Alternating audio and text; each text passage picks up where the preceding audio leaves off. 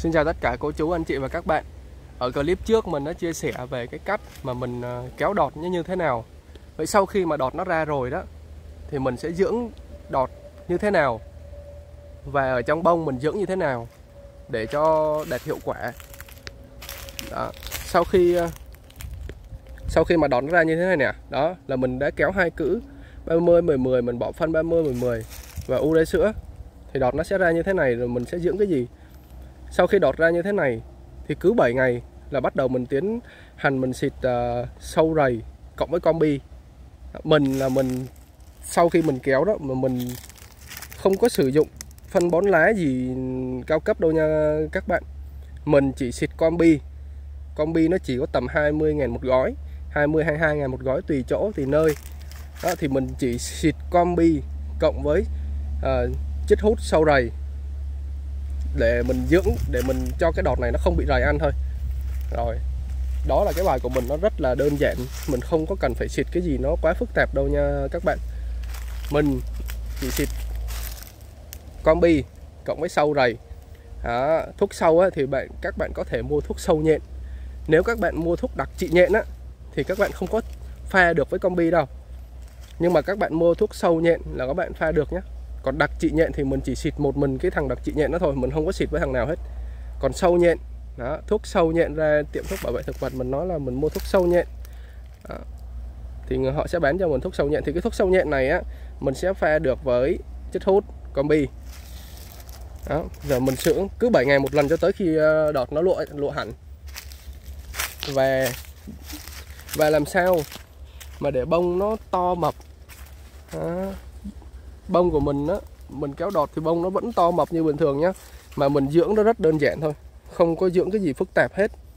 Đó, bông rất to mập luôn đây này các bạn, nhìn xem này chùm bông nó to lắm, mập, cuống mập to. Đó, thì dưỡng cái như thế nào?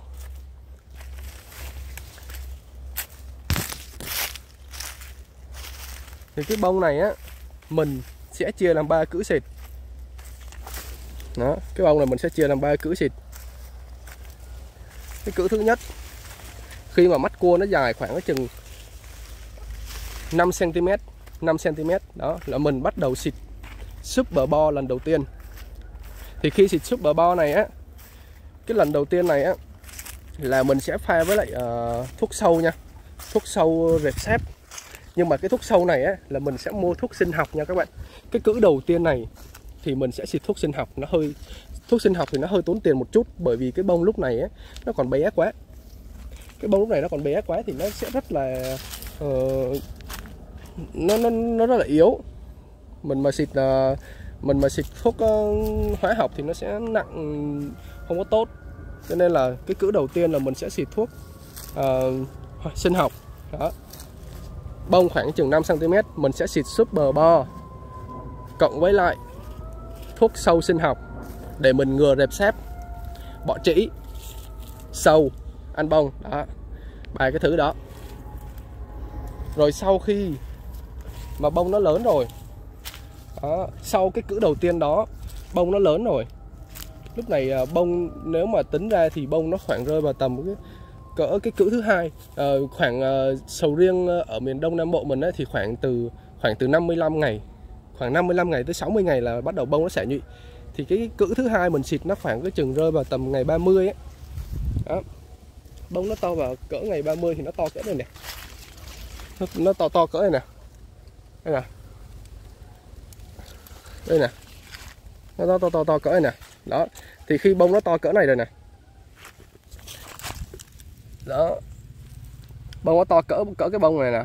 Thì mình tiến hành xịt qua cái cách của mình rất là rẻ tiền nha các bạn. Không cần phải xịt sinh học nữa. Rất rẻ tiền. Mình cứ mua thuộc mình cứ mua thuốc hóa học mình xịt nhé nhưng cái thuốc hóa học này á mình mua thuốc nhũ dầu mình xịt luôn nha. Nhưng mà cái thuốc hóa học nhũ dầu này thay vì một chai bình thường là à, 450 ml mình xịt hai phi thì bây giờ một cái chai nhũ dầu này 450 ml mình pha mình xịt cho 4 phi. Đó có nghĩa là mình pha mình giảm cái liều lượng của nó đi. Ờ, thuốc nhũ dầu nhưng mà mình pha giảm liều lượng. Có nghĩa là nó loãng ra đó.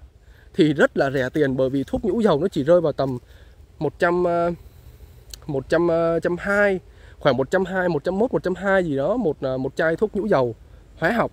Hóa học nha các bạn. Đó. Mà chia đôi ra ừ, thì tính ra một uh, mà hai phi. Hai phi thì thì, thì mình 120 thì mình chia đôi ra nó có 60 ngàn à. 60 ngàn hai phi. Còn cái thuốc ờ, sinh học á, các bạn phải mua tới 160 ngàn hai phi. 160 ngàn cho hai phi nó rất là tốn tiền. Mình không có làm theo cái kiểu tốn tiền đó, mà khi mà bông nó to cỡ này là mình bắt đầu chuyển sang thuốc hóa học luôn nha. Mình chuyển sang thuốc hóa học nhưng mà mình giảm gấp đôi liều, giảm nha, giảm gấp đôi liều. Đó, cứ một chai thay vì hai phi thì mình xịt thành 4 phi. Cứ cái bông này mình xịt rẹp xếp mình thuốc hóa học nhũ dầu luôn nha đó, nó không có sao hết nha. Khi mà bông nó phát triển tới cỡ này rồi là xịt kiểu đó nó rất là rẻ tiền các bạn ạ. Không việc gì phải thì xịt thuốc sinh học nữa. Sinh học nó tốn tiền lắm. Mình làm như vậy là mình tiết kiệm được rất nhiều chi phí. Đó thì cái cữ thứ hai mình dưỡng bông là mình xịt combi nha. Mình chỉ xịt combi bạn nào có điều kiện hơn thì xịt sang những cái dòng vi lượng. À, cái chai vi lượng á cái chai vi lượng cái hũ cái chai vi lượng nó khoảng một lít á. À, thì mình có điều kiện thì mình mua cái đó mình muốn rẻ tiền thì mình chỉ xịt combi. Đó, cái cữ thứ hai là mình xịt combi. Cữ thứ nhất là mình xịt super bo cộng với lại thuốc sâu sinh học. Trị rệp xếp bọ chỉ. Đó, rệp xếp bọ chỉ sâu ăn bông. Sâu sừng sâu sừng ăn bông. Rồi cái cữ thứ hai là bằng như thế này. Đó, cái cữ thứ nhất là khoảng 5 tới 5 cm còn cái cữ thứ hai à, mình sẽ xịt combi cộng với lại thuốc sâu hóa học giảm nửa liều đó, đó là cữ thứ hai. Cái cữ thứ ba là trước khi xả nhụy 10 ngày. Đây 10 15 ngày đó. Đây à. Đây nè cỡ này nè. Trước khi xả nhụy 10 ngày. Đây. Thì mình tiếp tục vẫn xịt thuốc hóa học tiếp. Hóa học giống như cữ thứ hai. Đó, nhưng mà cái cữ trước khi mà mà xả nhụy đó thì cái bông này nó cần phấn cái bông này nó rất là cần nhiều phấn. Cho nên á là mình à, xịt super bo một lần nữa. Đó, những cái bông này là mình sẽ xịt super bo một lần nữa để mình tạo phấn cho nó nhiều nha các bạn. Cái thằng bo đó nó làm cho những cái thằng này nè những cái thằng bông này nè nó tạo ra những hạt phấn nhiều hơn bình thường. Đó. Thì thì cái cữ thứ hai cái cữ thứ ba là mình xịt super bo cộng với lại sâu hóa học giảm nửa liều. Cái sâu hóa học nó giảm nửa liều nha còn bo thì mình vẫn xịt bình thường. À, cho nên mình, các bạn thấy mình chỉ dưỡng theo cái cách của mình nè. Mà bông nè kéo đọt nha. Mà bông nè đã chưa? Một chùm minh tỉa đi ấy, mình phải tỉa bởi vì nó là khi mà nó còn nhỏ thì nhìn nó ít. Này khi mà nó còn nhỏ nhỏ vậy thì nhìn nó ít. Nhưng mà khi nó lớn lên rồi nó nhiều quá các bạn ơi. Nó lớn lên nó rất là nhiều nó nhiều như một cái tổ ong vậy nên mình phải tỉa bớt đi nha. Đấy nó nhiều mà nó còn to mập như thế này nè to bằng con cái mình luôn, nó giỡn đâu, cuống à. To lắm. Bông, đã không?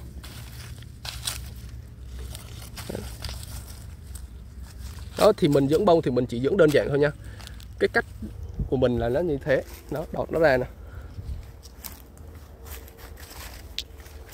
Mình thì ờ, kéo đọt thì nó hơi cực một chút các bạn. Nhưng mà nhưng mà khi mà mình kéo được rồi thì cái năm nay mình có thể rất là trúng luôn nhá ừ, mình mà kéo đọt được thì mình sẽ rất là trúng cho nên là các bạn cố gắng làm theo quy trình chuẩn để mình kéo được cái cây đọt này. Đó. đó mà kéo đọt mà bông vẫn rất là rất là to rất là mập. Ừ. đó thì sau khi ờ, đó như ờ, bắt đầu là đọt nó bắt đầu đọt như thế này nè thì các bạn bắt đầu là tiến hành ờ, dưỡng nha. Dưỡng cho tới khi dưỡng combi thôi. Mình chỉ dưỡng combi thôi nhé tại vì trước đó mình đã xịt 30 10 12 cữ rồi. Cho nên là dinh dưỡng nó đã ở trong này rồi. Cho nên là bây giờ nó cứ bể đẩy thôi. Thì hai cái cữ thì thì những cái cữ sau đó thì mình cứ 7 ngày cách nhau 7 ngày cho tới 10 ngày. Các bạn uh, pha sâu rầy với combi các bạn dưỡng cái đọt này thôi. Đó. Không cần phải ờ, pha thuốc dưỡng cái gì mà amino với lại không không cần đâu nhá. Đó là cách của mình thì mình chia sẻ. Mình làm sao mình chia sẻ như vậy. Đó. Còn bông thì mình dưỡng 3 lần đó, bông thì mình dưỡng 3 lần. Bông mà nó to như vậy nè. Mình dưỡng 3 lần là lần thứ nhất là thuốc sâu sinh học cộng với super bo. Cái cử thứ hai là thịt xịt thuốc sâu hóa học giảm nửa liều cộng với combi. Đó, và cái cữ thứ ba cái cữ trước 10 ngày sổ nhụy. Đó là mình xịt super bo để tạo phấn. Lúc này mình cần nhiều phấn xịt super bo cộng với lại sâu hóa học giảm nửa liều. Rồi thế là chờ nó sổ nhị thôi. Mà mình à, đi đi thụ phấn bổ sung nữa nha các bạn. Đi thụ phấn bổ sung cái cây à, mà mình chế có ở trong cái à, cái cân của mình. Các bạn vô các bạn tìm các bạn coi. À, mình có chế cái cây thụ phấn nó rẻ tiền lắm. Mua cái cuộn có 5 ngàn cuộn à. Về mình chế mình thụ phấn cả mùa. Đó mình chia sẻ như vậy cho tất cả các bạn để các bạn biết được là cái tình hình Ờ, của mình là làm như thế nào? Đó. mấy cái này mình cũng phải bỏ tại nó nằm đầu cành các bạn. Mình làm không kịp á, nên là giờ nó còn sót nè. Mình phải bỏ đi thôi. Ở ngoài đầu cành. Đúng rồi, cái quan trọng nhất ở cái việc kéo đọt này nè, là hôm trước mình chưa nói. Đó là phải tỉa bông nha các bạn. Các bạn phải tỉa bông gắt lên. Tỉa sạch những cái bông đầu cành mình tỉa không còn một cái gì ở ngoài bông đầu cành. Đó tỉa thật kỹ cái cái cái bông đầu cành tỉa hết. Không còn một cái bông nào bên trong tỉa thưa đây để một cành để một cành khoảng cái chừng cái chừng uh, năm chùm thôi sáu chùm hết cỡ thôi. Năm sáu chùm mà một chùm của mình nó chỉ vậy thôi nè. Đó năm sáu chùm. Nên bông nó to lắm. Mình để cứ năm sáu chùm năm sáu chùm. Thái cái này thái. Còn ri thì uh, bên kia. Đấy, phải tỉa bông nha các bạn. Muốn kéo đọt được đạt hiệu quả cao là phải tỉa bông. Nếu như mà mình không tỉa bông ấy, thì mình kéo đọt rất là khó nha. Mình phải buộc phải đi tỉa bông. Ừ. Đó như cái cành này nè. Đó như cái cành này mình để một chùm nè. Hai chùm nè. Ba chùm nè. Bốn chùm nè. Đó bốn chùm thấy chưa? Chùm này mình bỏ luôn nè. Để bốn chùm thôi xét chứ. Đó, mình bỏ đi. Hai chùm này. Hai chùm là bốn chùm này. chùm bé ngoài này nè, là năm chùm nè. Đó. chùm này bỏ luôn đi, còn bốn chùm thôi. Bốn chùm. Ở dưới này mình cũng để nè. Hai chùm nè. Ba chùm nè. Đó, bốn chùm. Đây mình để hai chùm nè, ba chùm nè. Đó, mình để ít thôi. Nó đậu ghê lắm các bạn. Mà để một chùm nhiều cũng được. Đó.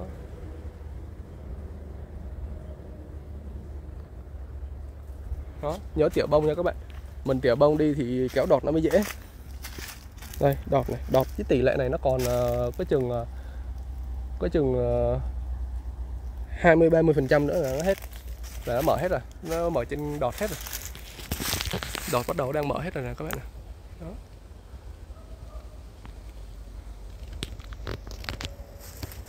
Đó thì cái cách của mình ờ, dưỡng bông dưỡng đọt nó chỉ có rẻ tiền như vậy thôi nha.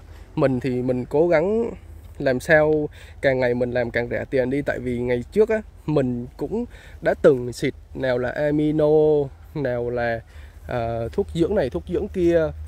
Ô mình tốn tiền về mấy cái vấn đề đó lắm.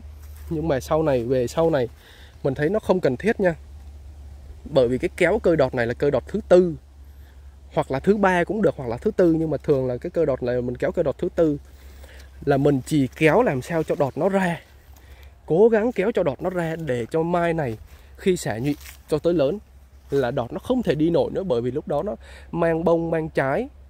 Ờ, từ lúc mang bông cho tới lúc mang trái mang ừ, trái nó từ nhỏ không tới lớn là nó không đi đọt nổi nữa bởi vì cái cơ đọt này nó đã ra rồi. Cho nên về sau này nó ra không nổi nữa các bạn.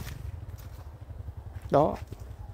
À, cơ đọt này là mình không cần phải dưỡng gì nó nó nó ghê gớm đâu nha. Cứ combi mà xịt thôi. Cứ combi các bạn cứ combi các bạn xịt